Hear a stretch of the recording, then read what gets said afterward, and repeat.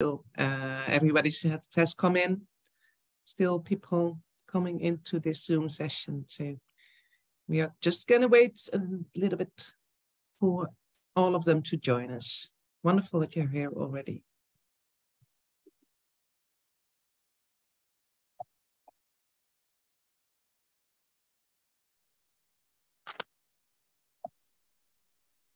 Hilde, shall I start sharing my screen? So we just have the intro slides.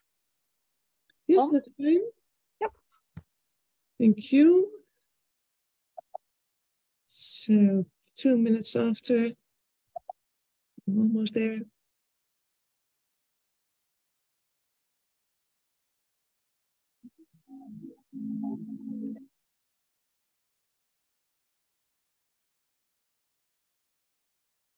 It's not on presentation mode yet, Young. Yes, that's it. Thank you so much.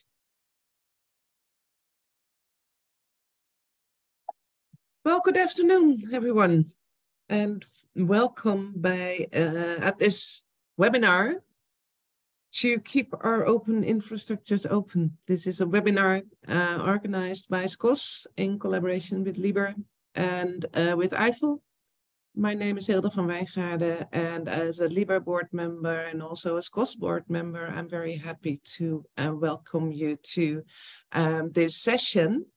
And this session is especially focused on um, how to make that decision to support the open infrastructures that are proposed to you by SCOSS. And also a little bit of explanation about how this works, um, how does SCOSS work, uh, a presentation of our wonderful um, and very interesting infrastructures uh, throughout La Referencia and ROR. And we hope to explain you a little bit more about them.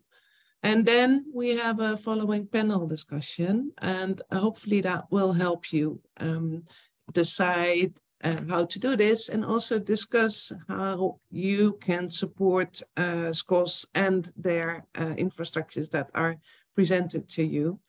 Um, and how we can discuss amongst each other how that would uh, best um, uh, be presented, how a university library can present uh, pledging to SCOSS um, to their institution, how other institutions can support this. All those topics will hopefully be addressed in this session. So um, this is a little bit the uh, program that you see here right now. Uh, but first I have to give you a few uh, welcoming and housekeeping uh, um, uh, remarks. Um, we are in a Zoom session that will be recorded. Uh, if you don't want um, your video, your picture being recorded, please um, turn off your camera.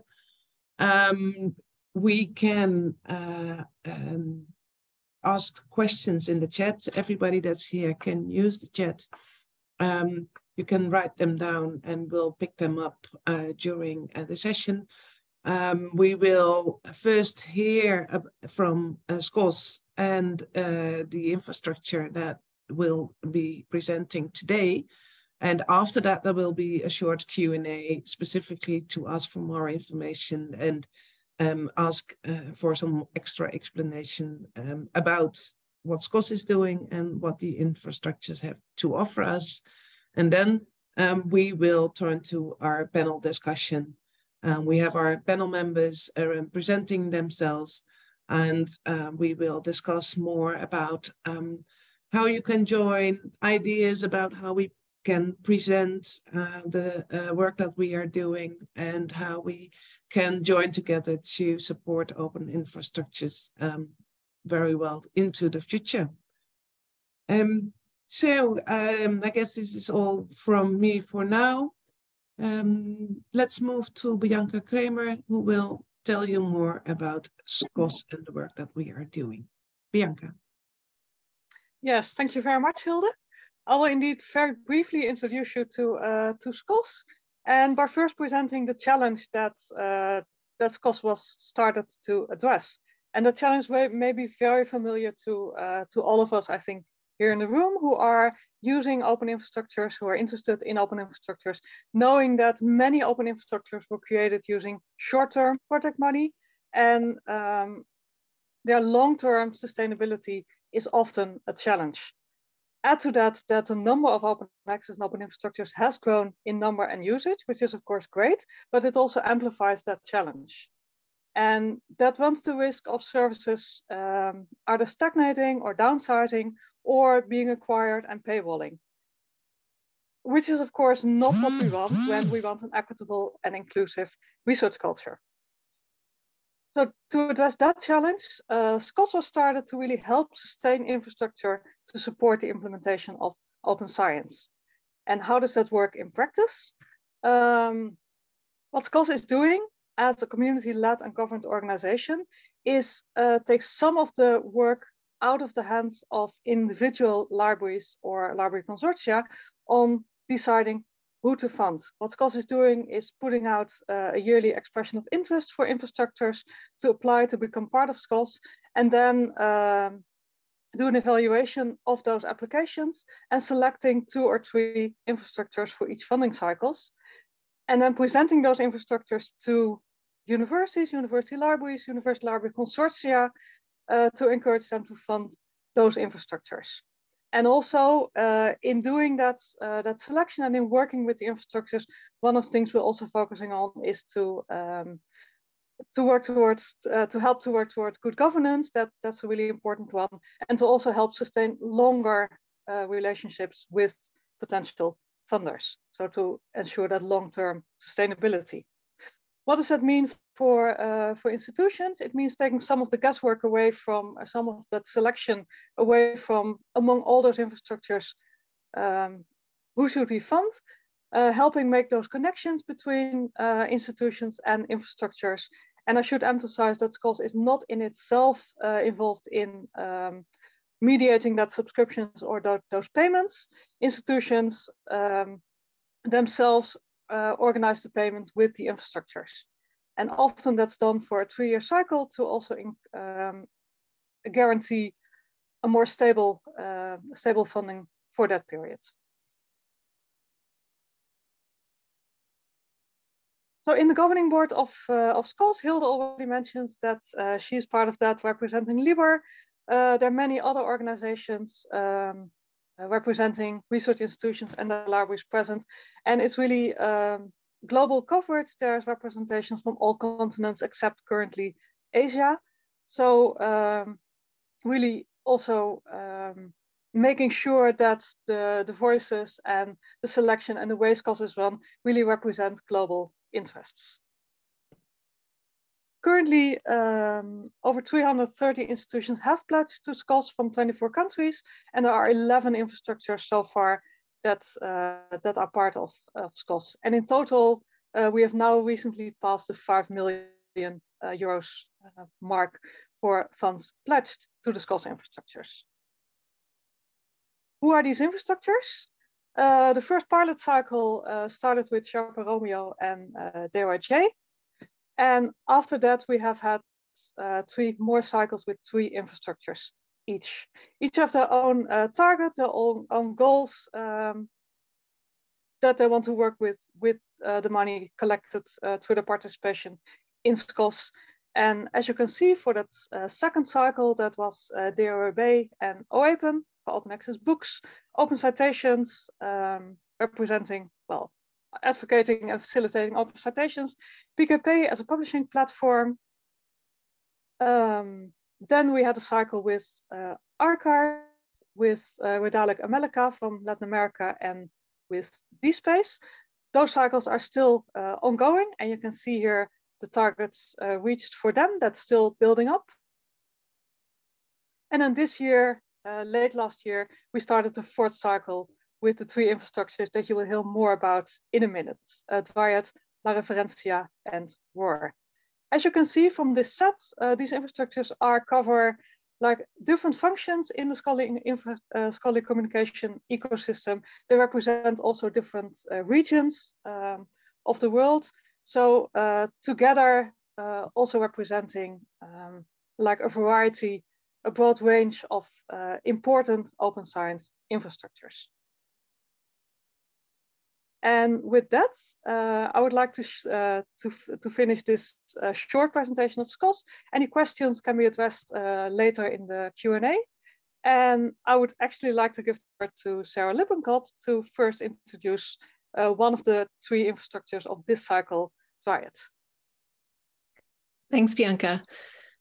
Dryad is an open international data publishing platform and community committed to the open availability and routine reuse of all research data. Dryad fully curates all data and metadata and publishes exclusively under a Creative Commons public domain license. We exist to serve the research community and normalize the open sharing and reuse of data, an essential step in achieving the benefits of open science. Open data provide evidence to support research articles and enable experts to interrogate, validate, and build upon new findings.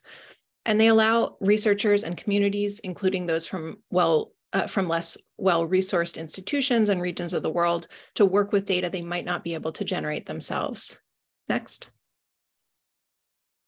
Emerging data sharing, guidance issued by policymakers and funders around the world asserts that simply posting data online or making it available upon request is not enough. Research data should be fair, findable, accessible, interoperable, and reusable, and should be of sufficient quality to validate and replicate research findings.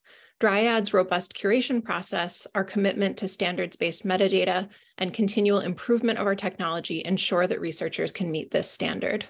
Next. Researchers around the world rely on Dryad and our fully curated publishing process to make their data discoverable and reusable now in, and into the future. Since our founding in 2008, we have curated and published nearly 50,000 datasets representing the work of nearly 200,000 researchers at nearly 70,000 institutions around the world. Our datasets are connected to research articles in over 1,200 leading academic journals. Next. Dryad publishes research data across domains and is a powerful conduit for data that doesn't have a home with a specialist repository. We publish only research data and work in collaboration with Zenodo to facilitate open, pub open publication of associated software and supplemental information, one of the many connections we maintain with other open source tools and organizations. Dryad's strengths are in the curation and standards-based open publication of research data as well as our collaborative approach and community governance. Our curation process is best in class for generalist data publication. Our open source publishing platform represents the latest best practice for sharing data, connecting it to related research outputs, and measuring impact. And our strategy for collaborating with other values aligned services rather than competing sets us apart. Through our relationships with academic publishers, we build data sharing directly into the manuscript submission workflow, capturing the data underlying scholarly research and simplifying the deposit process for authors. Next. Our team of curators reviews each dataset for inclusion of required metadata that facilitates interoperability with other systems and downstream discovery and reuse. They also check that every dataset may be opened with readily available software and that there is a README file to guide future users seeking to build upon it. All of our data and metadata are also permanently stored in a, a CoreTrust Seal certified repository, published under a CC0 license and accessible through Dryad's uh, front-end interface at datadryad.org and our open API. Next. We are supported in part by our institutional and publisher membership program, representing over 100 research institutes, colleges, universities, government agencies, academic publishers, scholarly societies, and university presses, who entrust thousands of their data sets to us each year. Next. Dryad is a truly international platform. This chart shows the geographic distribution of dataset authors represented in Dryad. About a third of our submitters are based in the United States. However, European countries round out nine of the top 15 locations of depositors. Together, these European uh, countries represent 31.97% of data sets in Dryad, so equivalent to researchers based in the United States, um, and would actually exceed uh, the, that proportion of researchers if we included all of the, the European nations. Uh, next slide. We are a member driven nonprofit and one of the first adopters of the principles of open scholarly infrastructure.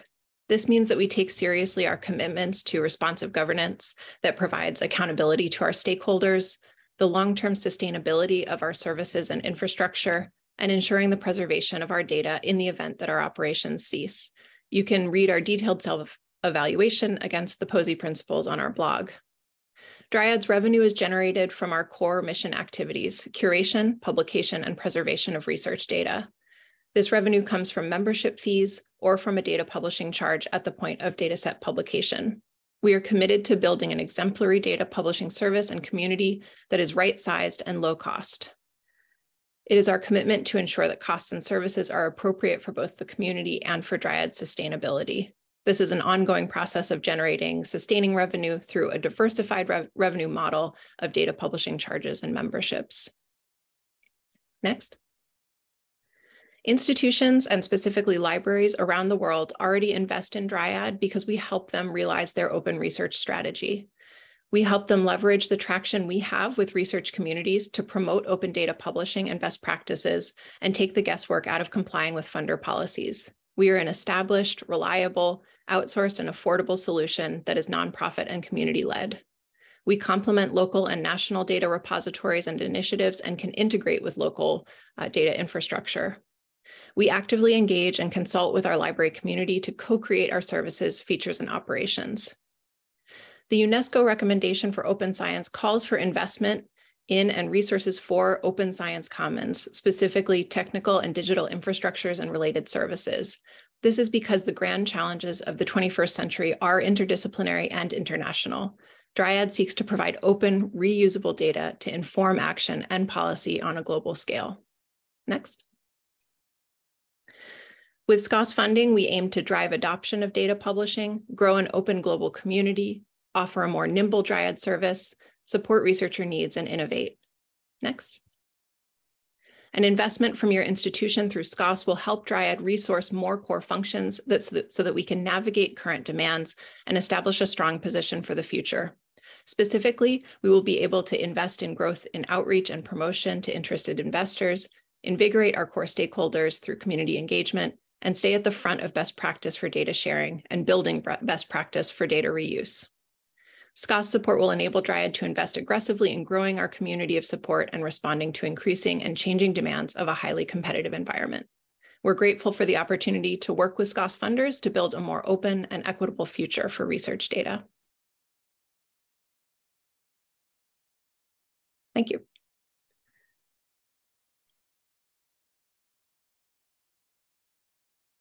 Thank you very much, uh, Sarah. We move to Lautaro Matas about La Referencia. Thank you, Bianca. Uh, well, uh, hello, everyone. I am Lautaro Matas, the Executive Director of La Referencia, which is the Open Science Network Repository, net, uh, repository Network of Latin America.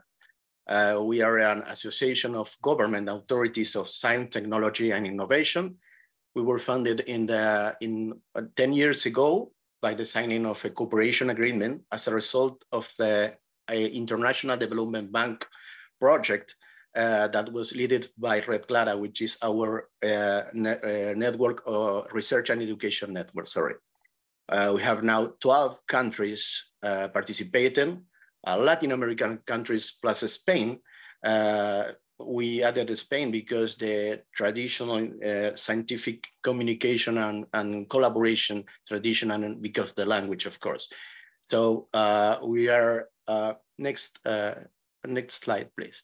So uh, I want to point three of our main uh, points here that is the first that we are a forum. We are not only a technical initiative, but a, a political initiative that uh, reunites uh, governments and we work as a forum for discussion and implementation of open science policies in, in our countries. Uh, for example, we are now discussing and working around the uh, UNESCO recommendation and how to implement them in, in our region. Our main goal is give visibility to the scientific production of our, of our region at global level.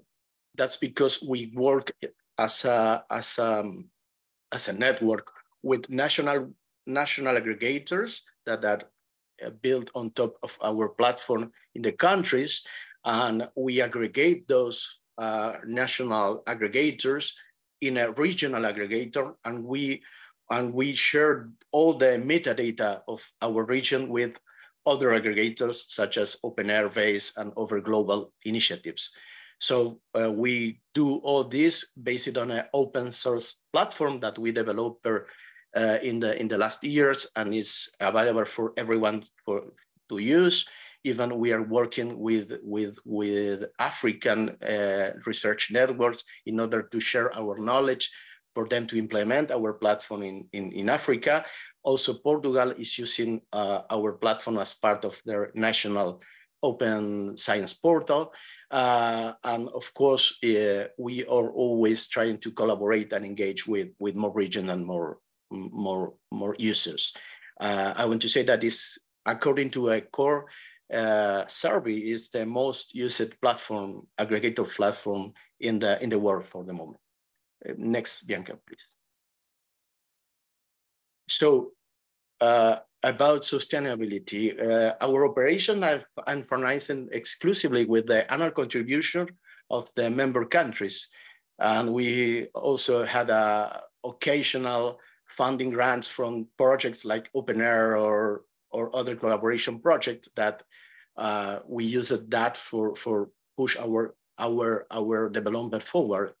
So this budget, this essential budget supports the, the, basic development and the ongoing maintenance of the aggregation software, our periodical meetings, and our, or our discussions. But uh, to move forward with the expansion of the service, the technological updating and consolidate the platform with the, with the challenge that we are facing now regarding uh, uh, the UNESCO recommendation and other things that are happening globally, so we require an additional source of funding. So uh, otherwise, uh, we have risk of, of running out of, of the of the of the challenge that that, that we're facing. So for, that's because it's a very important this this this SCOSS uh, process for us, and we would like to share the two main projects that we are working on uh, with this SCOSS funding. Next, please, Bianca. So the first one is uh, we're trying to be the decentralized, sustainably global persistent identifier service based on blockchain. This is a, this is a very innovative idea that we are working uh, with our national Brazilian node. We are already working on that and we have uh, an, a paper uh, uh published and uh, a preprint paper published in, in Zenodo that you you, you could go there and, and read more about that. But it's more or less is the idea that of we need not only persistent, but unique and the duplicated identifiers, because we need to, better, to build better uh, research graph and indicators in order to face the research assessment challenges that we have in our region. Uh, we have a lack of PID coverage in the, in the global south because the, the cost that it's supposed to our institution. So we need to build another another alternative, not, not a competitor, but uh, competitive, but an alternative way to put PIDs to, to our scientific production. Um, and also we, we, saw that most persistent identifier systems are based on centralized models. So we are trying to build this as a public good for any institution to participate in a blockchain network with, with, with, with resources, and then the information will be decentralized, not in hands of one, but in the, in the hands of all the, all the participants. And we think that is more sustainable with time. So we uh, we are expecting to to make more model advances this year. We are going to present some results in the Open Repository conference this year. Next, Bianca, please. And the other component that we are developing is it is uh, is building a usage statistic components. We we we had a, a, very good experience with OpenAIRE working together in in work in in building this uh, uh, usage statistics infrastructure based on Matomo. So uh, we did a pilot with them, and we then developed a regional aggregator for usage statistics. And we have several components now deployed in the repository network. And we want to, uh, the, to, to, to use that base in order to, to build uh, better components and deploy that components not only in the repository network, but in all the all the, the, the other open science ecosystem actors or, or systems. And we want to share that components with the rest of the community. We had been in touch also with some experience in France uh, regarding using Matomo for usage statistics. So we we we we think that it would be very useful to to engage with more people uh, working around this and and make uh, open uh, component for for the global network. Uh, next, Bianca, or this?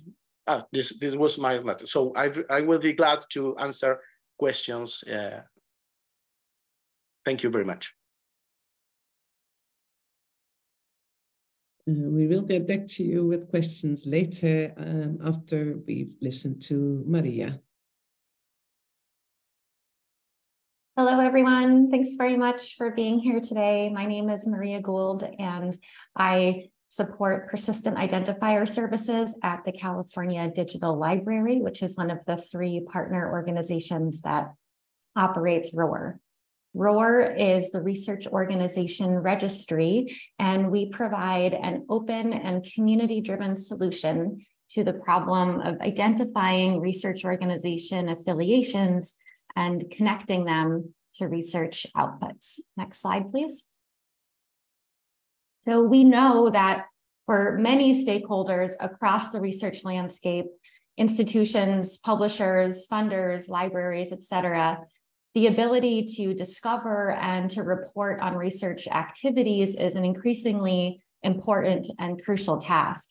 And to accomplish this task really depends on the ability to drill down at the institutional level and connect these research outputs to the institutions where they are affiliated. Next slide, please. The problem, however, with tracking these outputs is that it requires knowing what the researcher affiliations are. And the problem with researcher affiliations is that this data is not represented consistently because organization names can be written in multiple ways or names can change over time and other reasons, or because this data is only available in commercial databases or subscription services, or in other cases, this metadata just simply does is, is not available and does not exist because it's not collected. So these are some of the challenges that we're trying to address with ROR. Next slide, please. So one of the ways that we do this, the, the core way that we do this is by providing a unique and open and globally available identifier that anyone can use to indicate a researcher affiliation and easily link it to research outputs, which can then also be linked to researchers and other objects of research to enable cleaner and more consistent metadata to flow through various discovery systems and citation indexes. So I'm showing on this slide here an example of the integration that Dryad built and uh, just wanted to acknowledge our fellow SCOSS participant here and uh, showcasing this example of, of the power of an open identifier for affiliations. So Dryad collects ROR IDs for the affiliations of researchers submitting data sets, and then they include those ROR IDs in the metadata that they deposit when a DOI is registered for that data. And because of that, this metadata is now openly available in systems that harvest DOI information. And then we can easily track all of the outputs associated in this case with Newcastle University in, in this example, and to be able to link it and connect it to other identifiers such as this researcher's ORCID or other kinds of metadata that might also be available for this data set, such as funding information, granting information, related works, et cetera. So next slide, please. So just to take a little bit of a step back and tell you about what's in the ROR registry, we are an open and global registry. We have IDs for more than 100,000 research organizations around the world.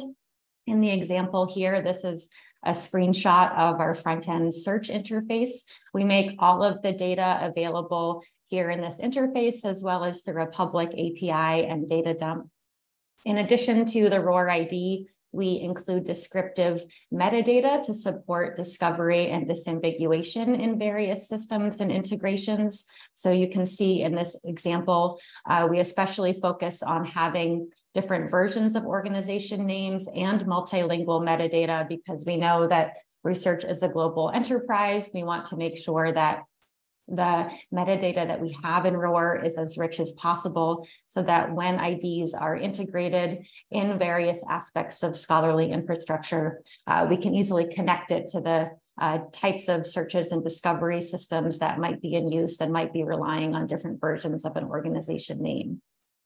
We also really prioritize interoperability of ROR IDs by including crosswalks to other identifiers.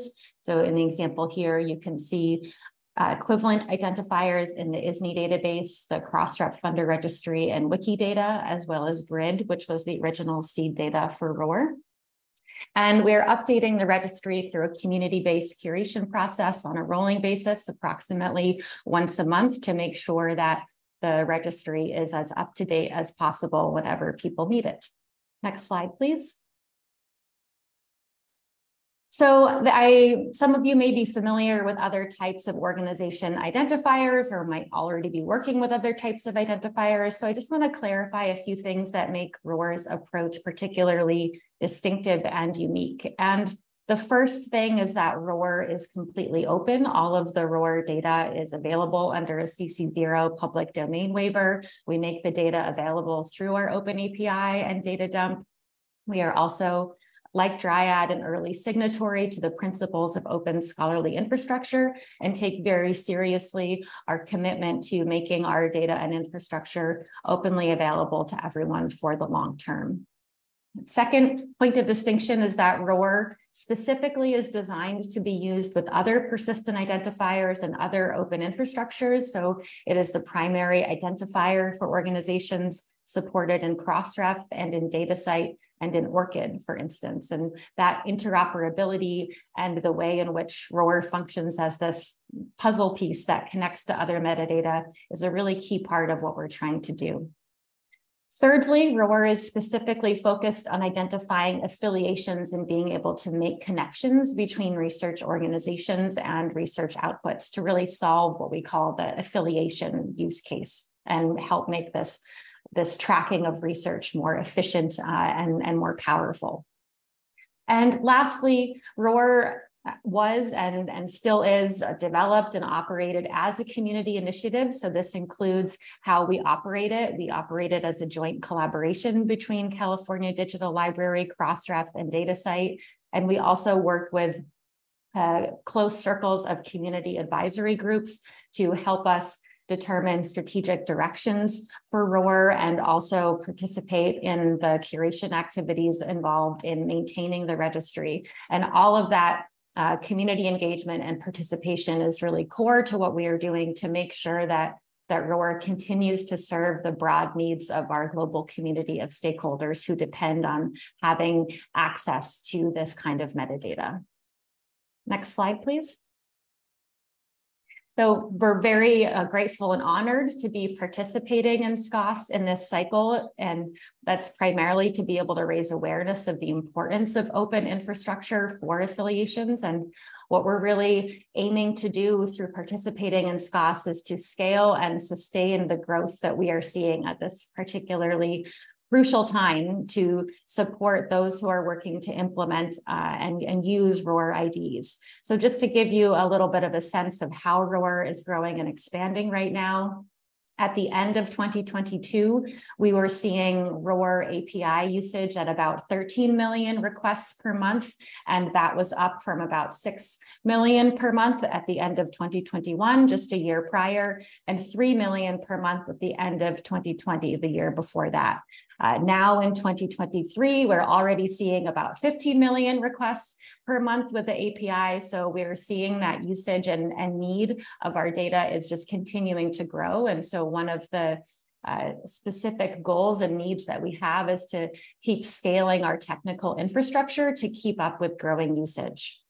And that really connects to the second primary goal and need that we have right now, which is how we can best encourage and support widespread adoption and use of ROR IDs. We know that the more ROR IDs that are out there in research infrastructure, the better off we all are as a research community to have access to open and clean and consistent information about research. And so it's especially critical that we can drive adoption and implementation of ROR IDs across the research landscape right now so that we can collectively realize the downstream benefits of the reporting and, and tracking and metadata richness that ROR can support.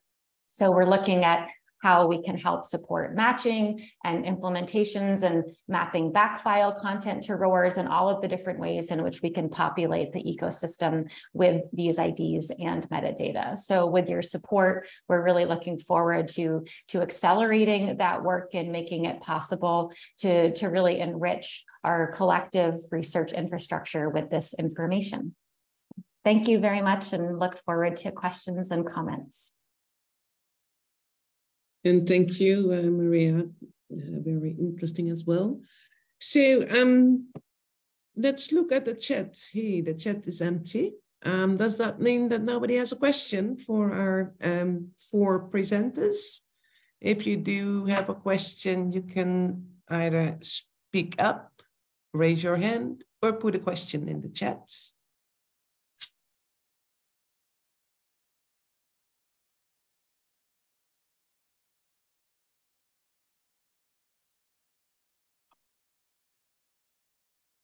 So no questions. Um, but I have some. I um, um, we do have enough time. Yes, we have.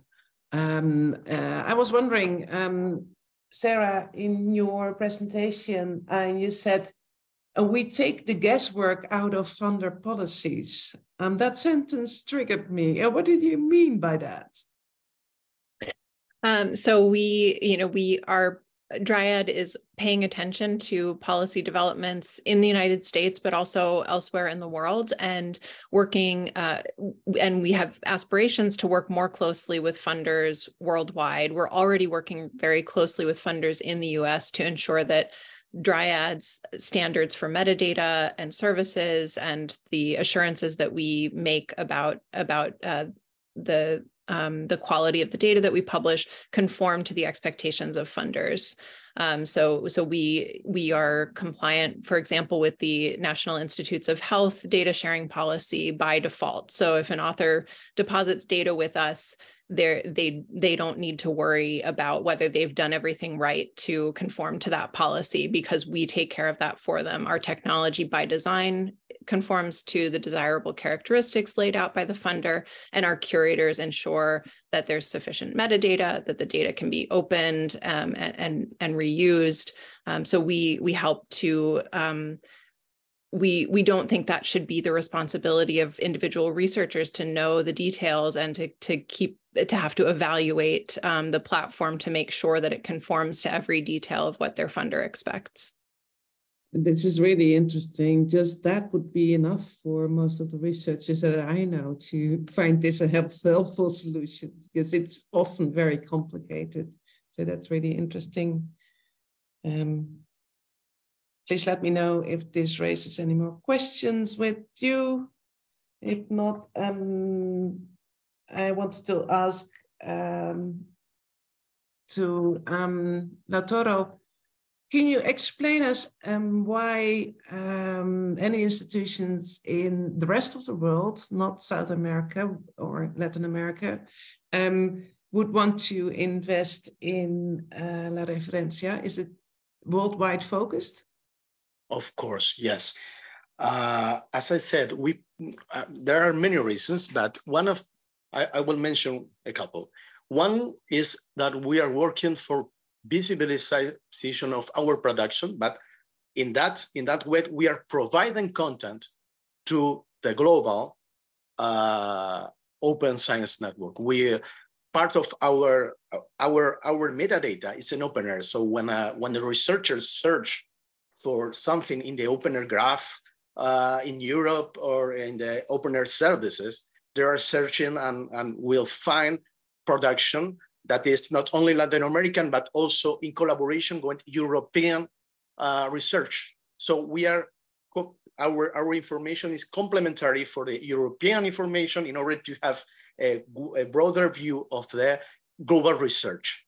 And in the other hand, we are looking for funding this, this, this alternative solution for PIDs because we think that we, we need to build some services as, as public goods, not only for Latin America, but for the global uh, open science ecosystem. So we want to provide this and connect these services with the existing PID services in order to, to, to make uh, a PID uh, decentralized uh, service for, for everyone, not just for Latin America.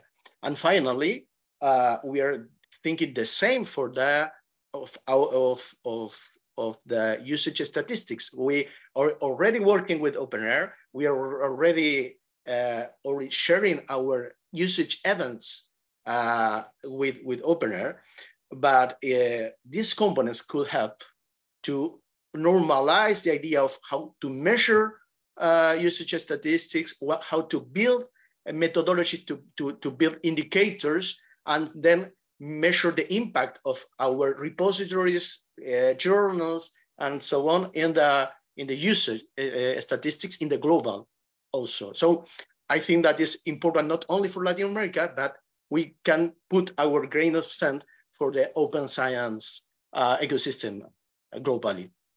Thank you for the question.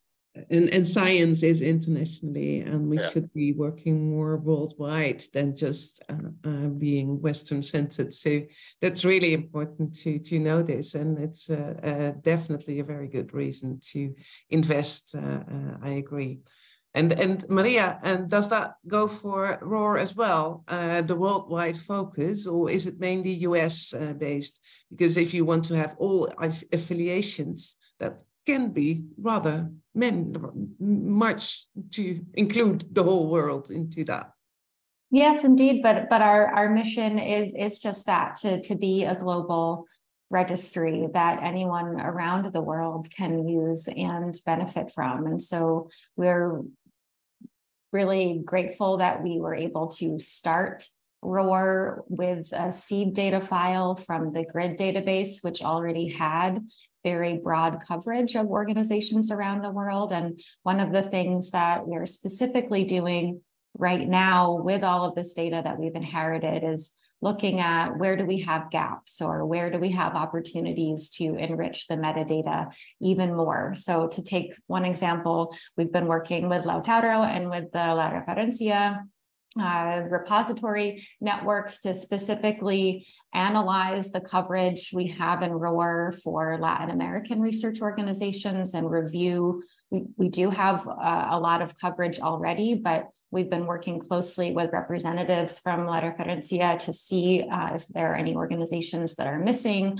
or to see what kind of improvements we can make to the metadata that we have, like adding different versions of organization names to promote discoverability and things like that. So we take ROR's position as, as a globally available registry very seriously. And that's one of the values that we can provide to the global science community. We also know, you know, on the topic of, of interoperability that we, we work closely with those who may be maintaining more um, local level or national level databases of, of research organizations. And one of the one of the benefits of ROR is that can it can really function as a kind of linking or or bridging identifier that can can really supplement that kind of local level, regional level, um, national le level uh, research research tracking. And ROR essentially functions then as a kind of common language we can all speak uh, to really rationalize organization metadata across this you know, very diverse and, and global research community that we operate in. Uh, thank you very much, Maria. And I see a reaction by Inge van Nieuwerburgh. Do you want to get this reaction yourself? Oh yeah, I can do that if you want to.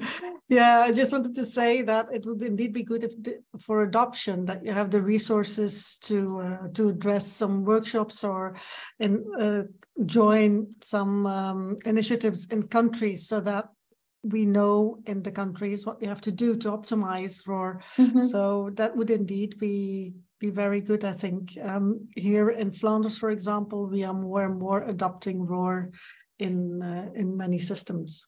Mm-hmm. Yeah, sure. I appreciate your comment, and I I don't think we've been in touch, but I've been in touch with other colleagues um, managing Flemish research um, data, and we've been working hard to to um, update all of the information and support the work that you're doing.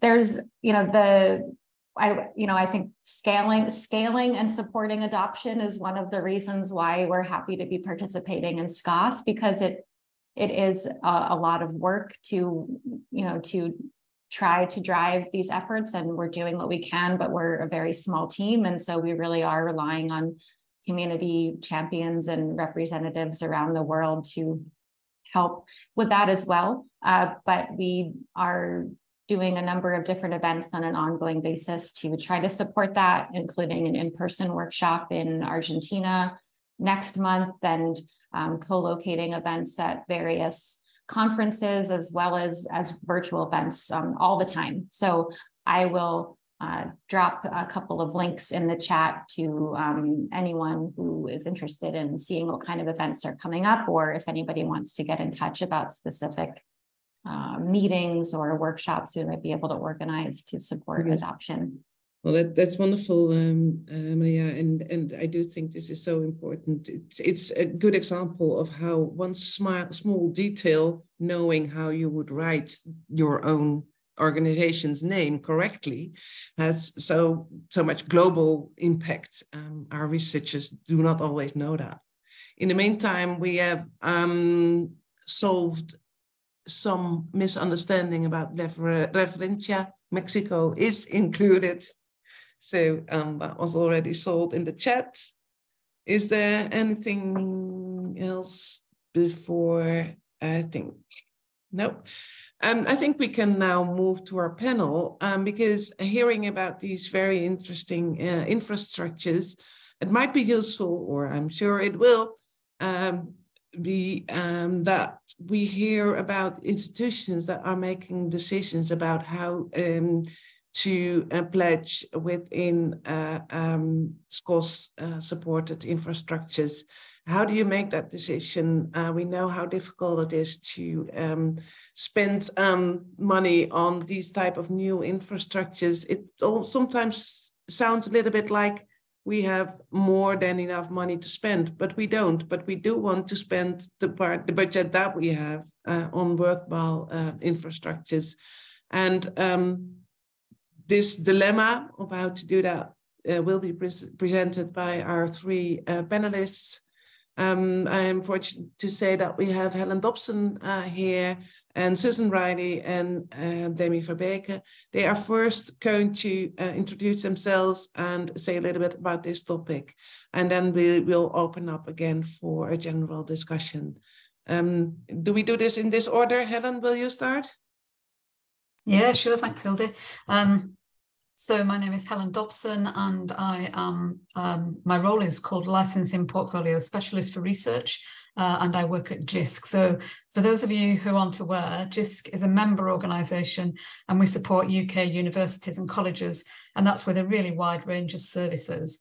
Um, I work in JISC's licensing team. We focus on negotiating agreements for content and software. Um, we're a really large consortium. We have over 150 higher education, so university members and, and other research organisations. Um, these range from really small teaching focused institutions to really large uh, research intensive universities like Oxford, Cambridge uh, universities. Um, in my role, I manage some license, a number of licensing managers. They, nego uh, they negotiate open access agreements. Um, and that's with a range of publishers. So it can be transformative agreements with large commercial publishers, but also uh, smaller uh, society publishers. It can be open access publishers like PLOS operating an APC model. Um, it can be diamond open access publishers like the Open Library of Humanities. we also have some um, open infrastructure agreements that we make available. So um, directory of open access books, arXiv, th those kind of things. Um, currently, my priorities are looking ahead, so looking beyond the current uh, open access agreements, and I'm involved in the DIAMAS project as well, which obviously is looking at um, Diamond Open Access for the future. Is that all you want me to say for now? Because we've got we've got a little bit more, I think, to add. Is that all right? Yes, this is perfectly all right to start with. Um, we hope to hear more from you later. Uh, but then we're moving first to Susan Reilly. Hi, thanks, Hilde. And hello from Dublin, everyone. Um, my name is Susan Reilly, and I'm the director of IReL, the I Irish um, uh, uh, Research e-Library Consortium, uh, serving universities in Ireland. And I should say I'm also the co-chair of the Open Access Working Group in the National Open Research Forum, which is the national coordinating body for building research capacity or open research capacity in Ireland. Um, so I'm here with, with, two hats on, really. So first of all, um, a little bit about Ireland and how we, or IReL and how we support um, uh, open research infrastructure. IReL uh, adopted the LIBER principles on open access negotiations in 2019 and began to pursue transformative open access agreements. And this switch uh, towards open access and the need for us to gather data on our institution's publication outputs and on open access publishing has really driven our engagement, not just with open access publishing, but actually with the scholarly communication infrastructure underlying it and with open research infrastructure. Um, we now support the use of persistent identifiers because we're host of the Irish ORCID Consortium, and we are developing the National Open Access Monitor for North. Um, so we're really engaging more with um, open research infrastructure. Um, I guess putting more capacity there and in fact building open infrastructure ourselves. Um, in terms of our purely financial contribution, um, we have been supporting uh, DOAJ, OAPEN, uh, DOAB, and, and Sherpa Romeo through through SCOSS. We decided to do this in uh, 2021. And really, the reason that we decided to do this was kind of bottom up. We were and are quite successful with our, our, our transformative agreements, and we wanted to support scholarly communications and open infrastructure more broadly. Uh, our members did. Um, and to support, to give researchers more cho choice in terms of how they engage with open research.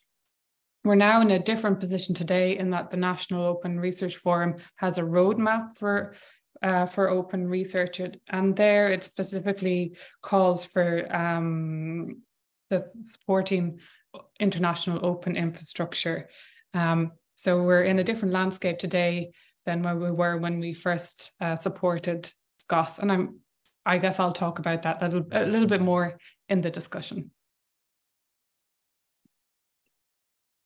Thank you very much, Susan. Uh, so let's move to Belgium. Uh, Demmy Verbeke, do you want to introduce yourself? Thank you, Hilde. So as said, I'm Demmy Verbeke from KU Leuven in Belgium, where I basically wear three hats. First and foremost, I am head of Artes, which is the unit within KU Leuven Libraries, which focuses on the arts and humanities. Uh, second, I'm also a member of the management team of KU Leuven Libraries, where I, together with other colleagues, pay special attention to what we do around collections and open science. And third, I combine this position within the library with an appointment as uh, Associate Professor of Open Scholarship at the Faculty of Arts. Um, now, what do we do in Leuven that is particularly relevant for this webinar? Uh, since 2018, we have what is called the KU Leuven Fund for Fair Open Access, which is essentially a separate budget line in the library, which is used exclusively for non-profit and community-driven forms of publishing and alternative approaches to scholarly communication. And having a fund like that for us uh, offers a solution for two common complaints I hear from libraries which are looking into providing financial support for open infrastructure, although I would actually call them excuses rather than complaints. And the first one is we don't have the money for this.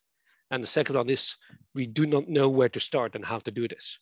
Um, and for us, having this fund means that we always have a little bit of budget set aside for this, which cannot be spent on a commercial approach to open publishing, but is designated to support approaches, like the ones that are now being suggested by SCOSS.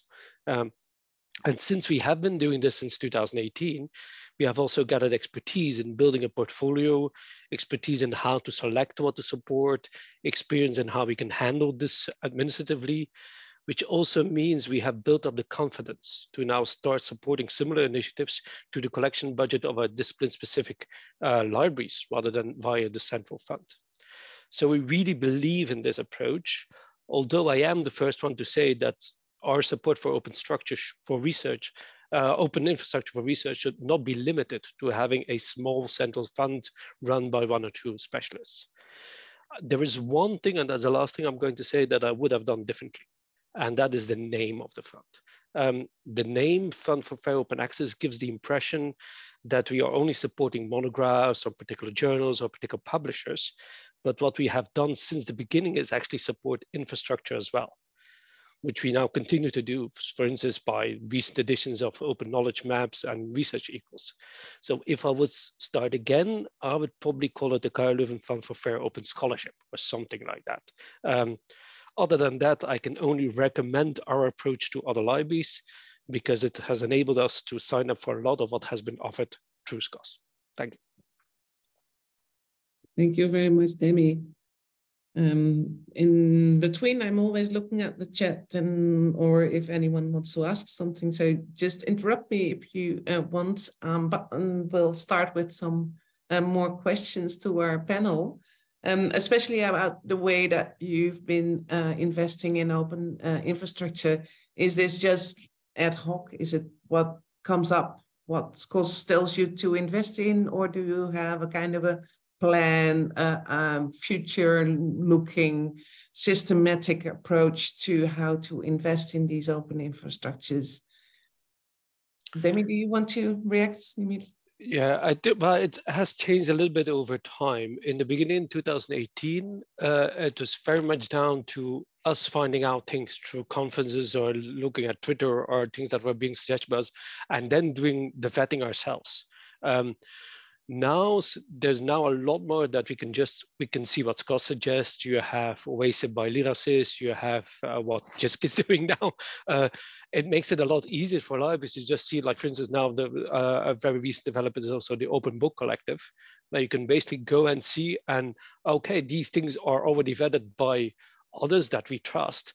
So we can just sign up. It makes it easy administratively and it makes it easy sort of to not be too scared about getting it wrong because that was in the very beginning, that was the issue of like, a, how do you select something and how can you be certain that you trust this? I always said, well, like, we don't want to keep, we want to keep the vetting small because I don't have, I don't want to have five people full time looking into these things. I don't have the means to this. Uh, we just go for a gut feeling. And these are contracts of one year, small investments. I, I always had something like we, sh we should not be too scared about getting this wrong. Um, uh, and what we were are still actually pretty much driven by is also suggestions of our research community, of that we know that our professors, our students ask for this and use this. Uh, and that is typically how we prioritize what is like here. We do not sign up for everything that SCOSS is suggesting. It depends a little bit what gets like uh, what other what other librarians are saying, what our researchers are saying. We need this, and that's gets on the top of our list. Mm, yeah, this uh, sounds familiar. But um, Helen, Susan, do you recognize what Demmy is saying? Helen? Uh, yes, I mean, I, am in a different position. And uh, just what I didn't say in my little introduction was um, we, although we're a member organisation, the uh, all the agreements that we make available to our members are opt-in. You know, so we we don't um, we don't sort of pay for negotiate. Uh, we don't pay for agreements for everybody. Um, so that that's that I guess in terms of what we do, there's there's two approaches. So so what one one is probably more um, ad hoc than the other. So we're involved in lots of projects, and Demmy's just mentioned um, the Open Open Book Collective. So we're involved in, in you know in that in that project behind the scenes. We're involved in in the COPIM project, and there's you know there's going to be open infrastructure coming out of these projects. Um, And I think when that happens, then that's when we take a more ad hoc approach. I mean, that sounds kind of counterintuitive to say the outcome of a project is ad hoc, but you know, it's not kind of within a cycle, I suppose. Um, but what we've been trying to do, and um, we've, we, you know, we've we've been supporting or making agreements for open infrastructure available to our members for quite a long time now. Um, we've been trying to sort of um, make that more efficient, standardize the approach to, to that because our, our feeling is, and, and, I'm not saying that libraries are telling us this, but it feels like it might be true. Um, the more the more things that, that libraries are being offered, you know, the more opportunities to fund more different types of uh, open infrastructure or diamond open access or, or whatever, so, you know, could be subscribed to open.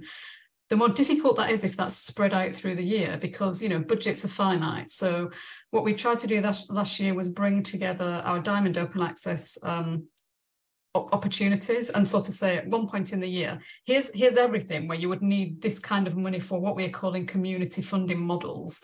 So last year it, it sort of aligned quite nicely with this with the SCOSS funding cycle. You know we were man- we managed to do that and bring together um, a webinar where the SCOSS uh, a bit like today you know where, where the SCOSS initiatives came and spoke to our members.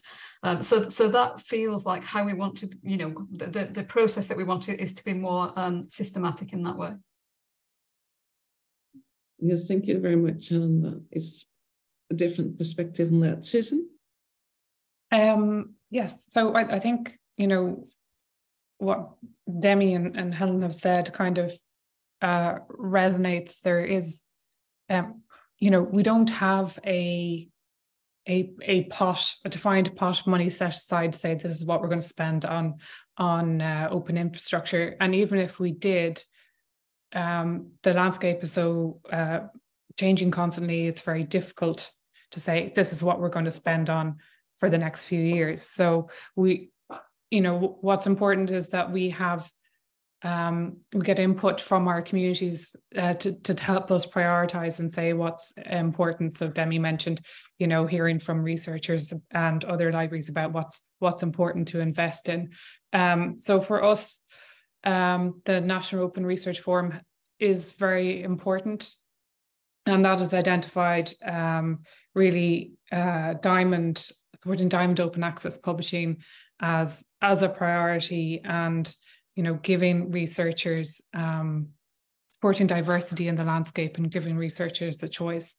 Um, and is it's continuing the conversation about what's important in the research landscape. So that will inform where we can invest. We're not going to suddenly have a new pot of money to to um to spend on open research infrastructures. So it's important that we have some other way to um, uh, prioritize.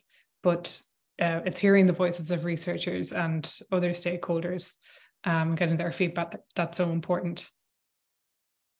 Uh, Susan, you're talking about the research infrastructures, um, but it's still library budgets that you're depending on, or is that going more broad? And that might be a question for all of us as well.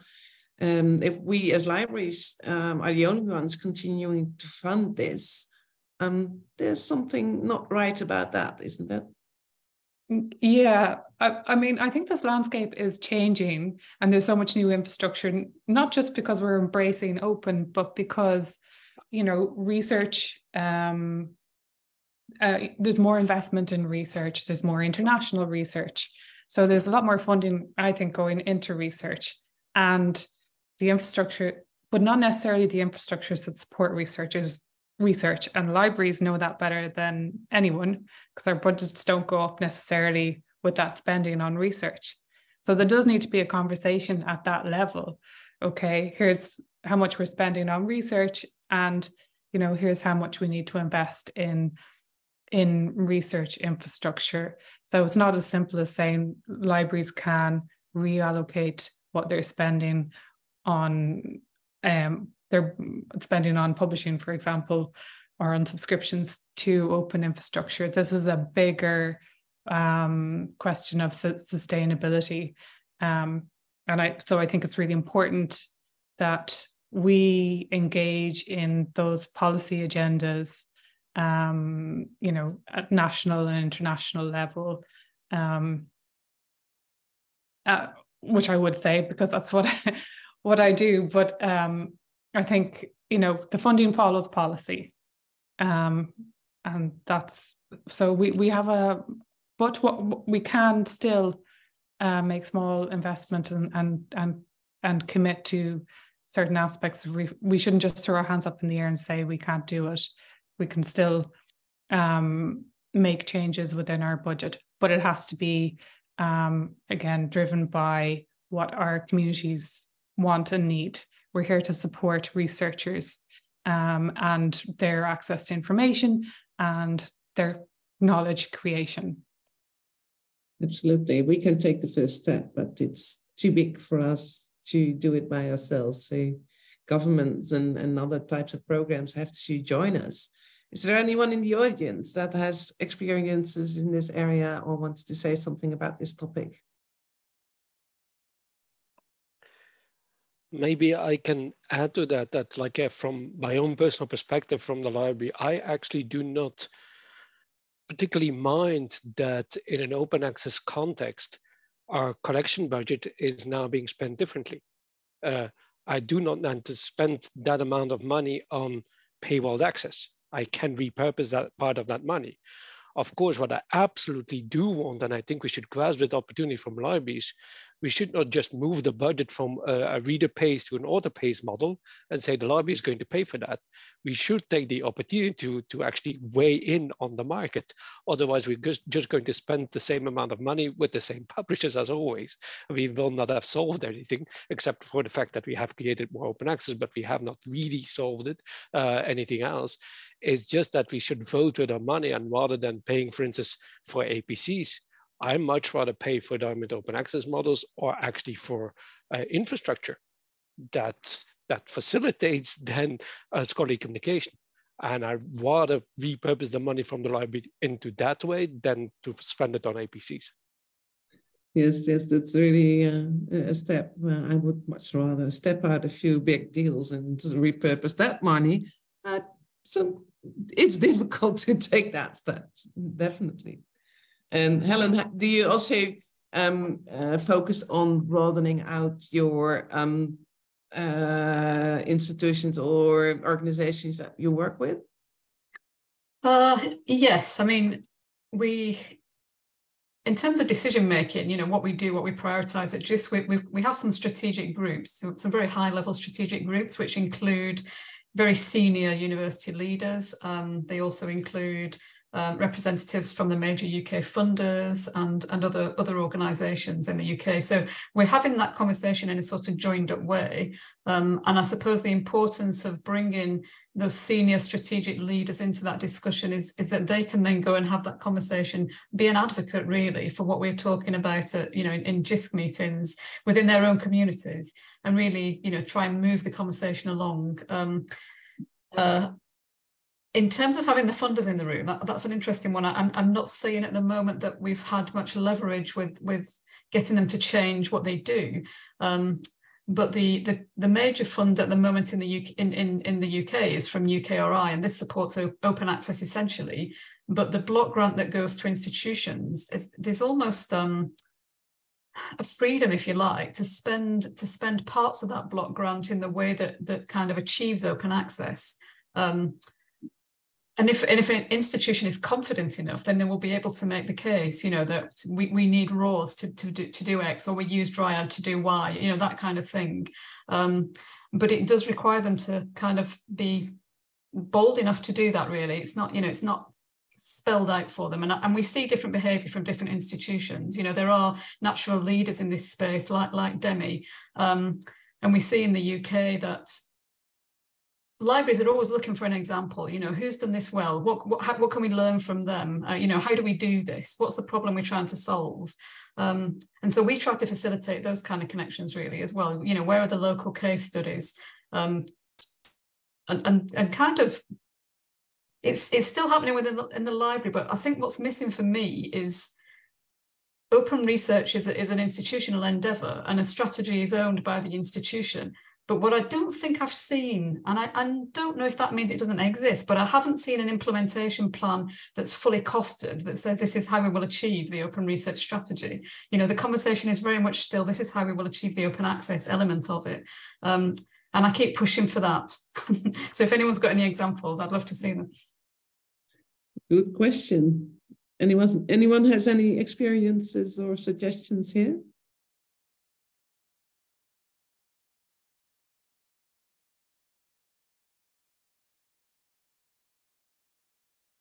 And within the panel, if you are looking for good examples also to offer our audience, um, do you have any um, uh, pointers, anything that you and can uh, suggest to the others in the audience um, to convince your university leaders or your main researchers to um, that you should invest in uh, um, this kind of open infrastructures or that we have to decide within your institutions to spend more budget on these kind of um, new um, uh, funding opportunities? Well, two arguments I typically use and I have used for years is one is that, and that's an argument that CFOs of universities completely get, is it's just smart management to not put all your eggs in one basket in one business model you need to make sure that you uh, like yeah maintain a diversity in the market so is it so much to ask to use a small percentage of the budget to free up to spend on infrastructure and on buy books and spend on APCs to free that up to support also the alternatives? At the very least, it will give us an argument in negotiations with the big players. Look, there is still alternatives alive. We can always pick the alternatives. And that's an argument that actually that a lot of managers get like, yes, this makes sense, maintain the diversity of the market.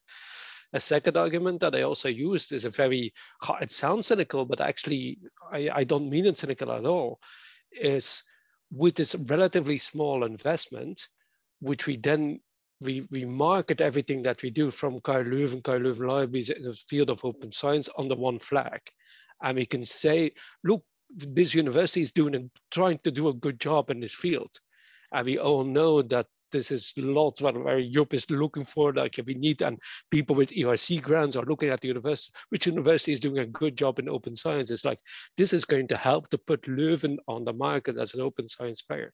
And that too is an argument that university leaders get, whether they believe in open science or not, it's good for the image of the, the university. And it sounds cynical, but that's the way the world works.